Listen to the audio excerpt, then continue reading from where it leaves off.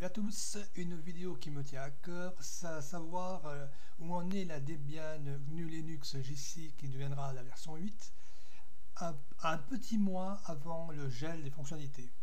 Le gel euh, des fonctionnalités qui est prévu pour durer entre, enfin le gel qui va durer entre 6 et 8 mois après sa mise en route, va permettre de stabiliser la GNU Linux JC et la publier avec un peu de chance, euh, si tout se passe bien, on va dire euh, fin juin, début juillet prochain, 2015. Donc là, j'ai pris la Debian GNU Linux GC avec euh, le GNOMI, l'interface GNOMI par défaut. Donc on va voir elle en est un petit mois avant le freeze, le gel, qui est prévu pour le 5 novembre 2014. On est parti. J'avais déjà fait une vidéo au mois de mars de 2014 et à l'époque, euh, systemd n'était pas installé. Maintenant, c'est le cas. Vous allez voir la vitesse démarrage, la vitesse de démarrage. Normalement, ça devrait dépoter. Sauf si, bien sûr, on va marquer systemd FSCK, file system check. Donc, on voit bien que quand même, c'est systemd qui est derrière tout ça. Donc, c'est quand même assez rapide. Il faut prendre en compte la vitesse d'enregistrement liée à la machine virtuelle, mais quand même, déjà, c'est assez rapide. Bon, mais ça, il faut compter 3-4 secondes de plus par rapport à la machine virtuelle, mais déjà, je peux vous dire que ça dépote pas mal. Voilà. Donc là, nous sommes avec euh, notre ami Debian Jessie et Gnomi. Donc là, on va se connecter. Là, au moment où je fais la vidéo, GNOME 3.14 a été en partie à moitié porté sur le, dépôt euh, testing et aux trois quarts sur le dépôt euh, unstable. Donc, étant donné que bon, c'est un environnement GNOME 3.12, 14 tout à fait classique, voilà, avec les activités. Voilà, donc euh, c'est en partie GNOME 3.14, comme je vais vous le prouver. Parce que si on dans les détails, GNOME 3.14, cependant, ce n'est qu'à moitié, parce que le port est en cours de complétion et de port, c'est pas je à dire, mais Gnomi est en cours de complétion sur version 3.14 sur, sur, le dépôt instable et passeront, passeront sur le dépôt de test d'ici, on peut espérer une quinzaine de jours. Donc en gros pour le gel du mois de novembre, tout va très bien. Parce que là on voit par exemple que c'est euh, Nautilus 3.12. À noter qu'on voit le professionnalisme de Debian, tout est bien solide. Côté traduction, tout est fait. Donc, comme je vous disais, bon, ben, c'est euh, tout outil de GNOME, quoi. Donc là, je vous montrer en gros l'ensemble. Une partie est passée en version 3.14, l'autre est restée en version 3.0, enfin 3.12, pardon. Donc là, euh, c'est un peu ça. On pourrait dire que c'est un boulga, mais à la différence d'autres distributions, c'est une version de test, donc on sait très bien que c'est en cours de, port. Donc je sais pas, je, sais plus quels outils sont portés en version 3.14, donc là, je ne sais pas, je crois que c'est encore la version 3.12. Ouais, c'est la version 3.12. c'est pour l'outil de vérification des disques. Donc on voit quand même que le système prend 5 Go 7. Il est quand même pas mal équipé. Donc il faudra voir si on peut pas vider le cache. Parce que quand même aussi, on a quand même de la Logitech assez fraîche. C'est quand même assez sympa. Par exemple, on a LibreOffice 4.3.1 de mémoire. 4.3.1. En clair, l'avant-dernière version des, instable entre guillemets de LibreOffice. Donc déjà, c'est quand même assez sympa.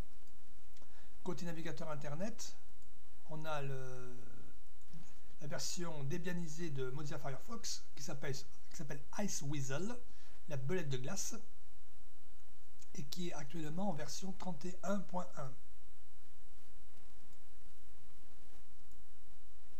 En gros, c'est la version dite ESR pour Extended Support Release. Voilà, je vais y arriver. C'est la version qui est supportée pendant 10 mois, qui est, quand même logique avec euh, une distribution euh, qui veut la stabilité à tout prix, comme la Debian de Linux. Redimensionne-toi, voilà. Donc là, euh, tout ce qui est le plus classique. Euh, côté, euh, bon, il y a tous les outils classiques comme Synaptic pour la gestion des paquets, Avant de faire la vidéo, j'ai rajouté les dépôts euh, tiers que sont Contrib et Non-Free pour avoir quand même quelque chose d'à peu près complet, même si c'est pas bien au niveau de la liberté logicielle. Voilà, il y a quand même pas mal de petites choses installées par défaut.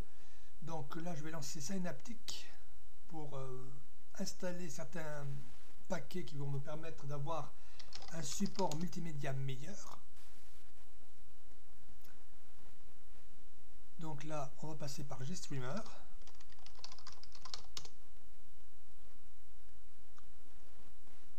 Et les greffons qui vont me permettre d'avoir le support. Alors. Tac, tac, tac, tac, tac. Ils sont les greffons Voilà. Donc là, on que c'est encore GStreamer 0.10 en duo avec GStreamer 1. Alors, il faut les ugly. Voilà. Voilà, donc ça va permettre... On va faire la même chose avec GStreamer 1.0 pour récupérer les paquets dits ugly par rapport au film Le Bon, la Bute de Trion.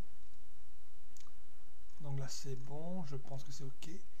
Ah oui, par rapport à systemd, c'est-à-dire que si systemd est installé, on a un paquet qui s'appelle systemd 6v.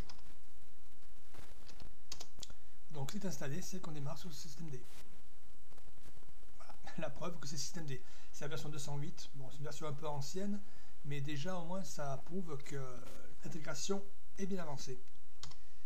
Euh, bon, je vais installer les paquets multimédia. Pendant ce temps-là, je vous avais dit que euh, Gnome est à, moitié importé en version 3.14, donc pour savoir où ça en est, on va passer par Iceweasel. Voilà. Par contre, je ne me rappelle pas du tout de l'adresse complète, donc ce que je vais faire, c'est passer par euh, notre ami euh, Google.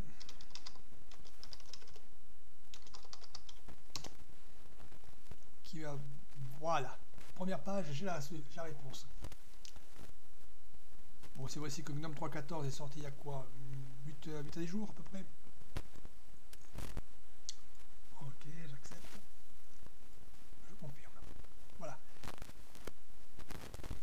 Passe en plein écran. Voilà, en gros, on a 75% des paquets. Voilà, en gros, plus c'est vert foncé, mieux c'est. Donc là, on voit par exemple que tous les paquets de GNOME 3.14 qui sont en vert foncé sont passés directement dans euh, la version euh, actuellement installée. Le vert clair, c'est pour la version unstable. Donc on peut voir que GNOME Calculator est en version 3.14, donc je vais vérifier. calculatrice. C'est mon répond 3.14.0. Voilà, donc c'est bien prouvé que GNOME 3.14 est en partie importé. Il y a aussi le GNOME Control Center, comme euh, on a pu le voir, donc desktop. Euh, qu'est-ce qui est aussi importé Voyons. Vous voyez l'adresse, c'est 0d.be, Debian, suite, vous vous débrouillez pour la suite. Donc il y a une grosse partie qui est importé. Il y a GNOME Screenshot qui est importé. Il y a les logs, il y a la documentation, une partie des greffons. Alors GTK uniquement dans Instable. Donc ça, ça pas tarder à passer je pense. Donc on voit quand même. Donc en gros, si j'arrive à déchiffrer, 145 des 192 paquets de GNOME 314 sont instables et 93 des 192. Donc en gros, on est presque à la moitié de GNOME 3.14 qui, est disponible directement sous Debian Jessie. Autant dire que là, euh, ça sent très très bon pour avoir un GNOME 3.14 avec Debian Jessie. Donc vous voyez quand même, c'est assez sympa. On va tester euh, la distribution pour voir ce que ça donne sans installer cette grouille d'Adobe Flash. Donc on va relancer Iceweasel. J'aurais pas dû le fermer. Donc là, on va voir comment fonctionne le lecteur HTML5 test. Euh, HTML5, pardon. Donc on va aller sur Bandcamp.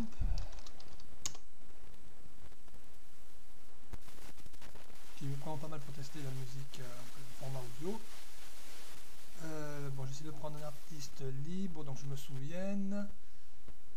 Euh, on va essayer celui-là. Donc on verra tout de suite s'il y a du son ou pas. J'espère ne pas avoir fait parfait. Alors ce qu'il me dit,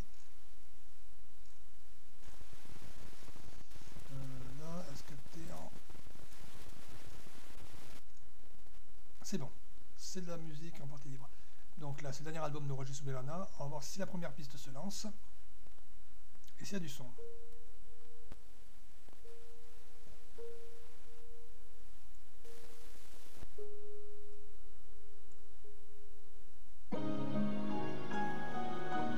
Mais je crois que c'est parlant. Donc on va déjà aller après sur euh, YouTube par exemple. Je vais pas m'ennuyer, je vais prendre une de mes vidéos comme ça je suis sûr et certain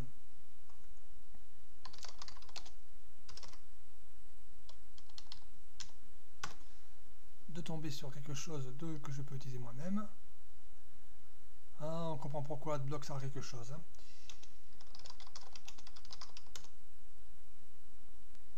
Voilà. Donc normalement. Non. Salut à tous, aujourd'hui une petite vidéo un peu spéciale parce que je vais vous parler de la version alpha de Windows 10 qui est sur certains plans pas très inventif. Donc en gros je lançais... Euh, voilà, on a la preuve que c'est bien passé.